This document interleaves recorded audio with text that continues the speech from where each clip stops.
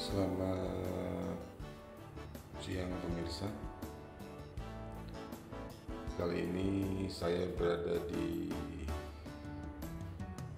Batam, tepatnya di Hotel Haris Resort. Di Barelang, Kota Batam di mana resort ini sangat bagus dengan pemandangan laut yang sangat indah lahan yang begitu luas